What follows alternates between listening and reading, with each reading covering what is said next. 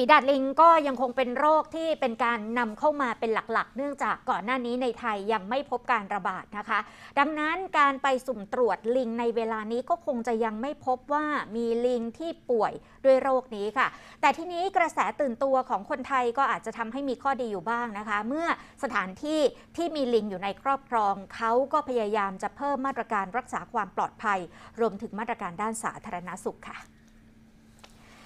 นายแพทย์วิสิตอภิสิทธิ์วิทยารองนายแพทย์สาธารณสุขจังหวัดพิจิตรเข้าไปถวายความรู้แด่พระสงฆ์วัดหาดมูลกระบือ ในอำเภอเมืองพิจิตรค่ะ เกี่ยวกับโรคฝีดาดลิง เนื่องจากวัดแห่งนี้มีลิงป่าอาศัยอยู่นับร้อยตัว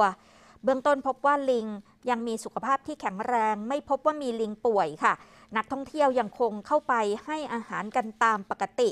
แต่สิ่งที่ทางวัดเฝ้าระวังก็คืออันตรายที่อาจจะเกิดขึ้นกับเด็กๆ ที่เข้าไปใกล้ชิดกับลิงจนมากเกินไปนะคะ ซึ่งทางรองนายแพทย์สาธารณสุขจังหวัดพิจิตรระบุว่า เพื่อความปลอดภัยจึงไปให้ความรู้ในการปฏิบัติตัวเมื่อต้องอยู่กับสัตว์ป่า โดยเฉพาะการรักษาความสะอาดค่ะ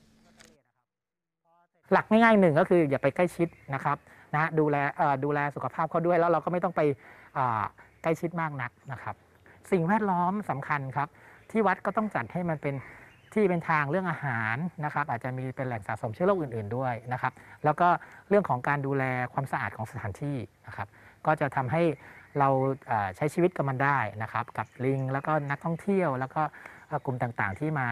อ่าในวัดนี้ครับเอ่อก็กลัวโยมมีความกังวลอยู่ระดับหนึ่งอืมแต่ในใจคิดว่ายังไง คิดว่าในใจก็คิดว่าเราสามารถป้องกันได้โยมอืมถ้าเรามีการศึกษาแนวทางปฏิบัติต่างๆ วิธีการป้องกันอยู่มันก็ไม่น่า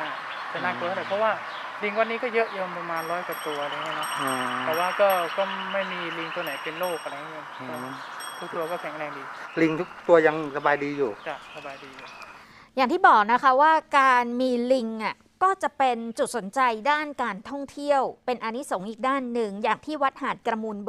มูลกระบือเนี่ยก็เป็นพื้นที่หนึ่งที่เป็นแหล่งท่องเที่ยวของจังหวัดพิจิตรจากการมีลิงเนี่ยแหละค่ะ ทางวัดเขาก็จัดการในเบื้องต้นด้วยการปลูกสวนผลไม้ให้ลิงไปเก็บกิน จะได้ไม่เข้าไปรบกวนสวนของชาวบ้านค่ะ